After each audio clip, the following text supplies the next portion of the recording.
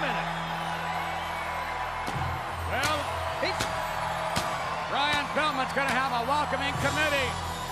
Brian Pillman, who set to face Dude Love.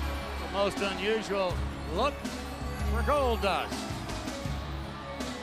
Brian Pillman against Dude Love, but now there's a welcoming committee out here for Brian Pillman.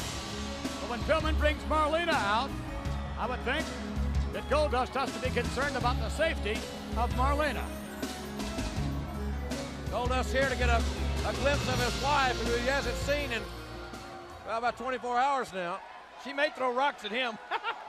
And his opponent from Cincinnati, Ohio, weighing in at 230 pounds, the loose cannon, Brian Pillman.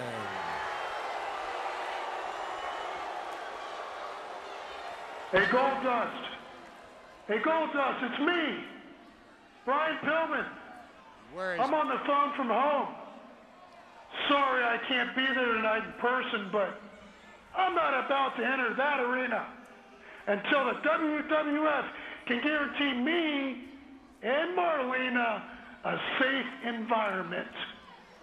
Besides, I'm physically exhausted from last night. I do it. Whew. She's a real dynamo. But even though I can't be there in person, I had a little tape made. And if the producer could be so kind to play it for us right now, Oh my gosh. part one of Brian Pillman's X-Files. Oh my gosh. Brian Pillman left with, uh, oh no. Woohoo!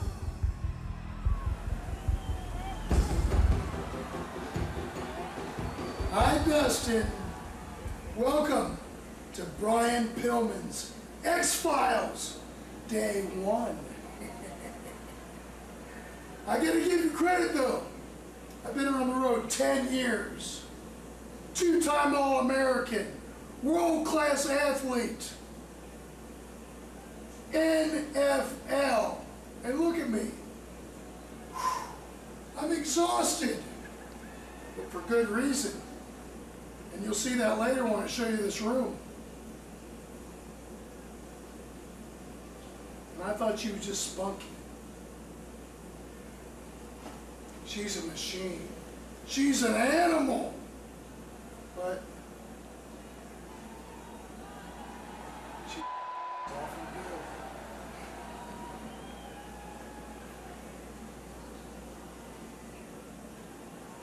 good. Oh, oh, gee. I hate it when that happens. But you know what? Nothing comes between my Calvin Kleins and me. Except, of course, your wife, Terri.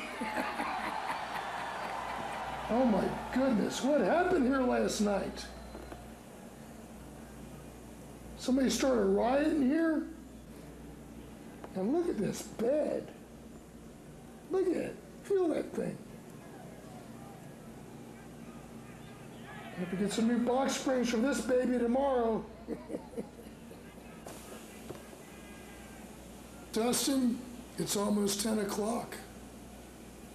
Do you know where your wife is? Well, I do. Because part two of Pillman's X Files is going to be live and in Technicolor. Goldust. Hey, had to watch Goldust, that. are you a little shaken up? Well, maybe you can straighten yourself out a little later on when I show you part two of the real good stuff. Goldust, last night, in a matchup where he lost his wife for 30 days to Brian Pillman,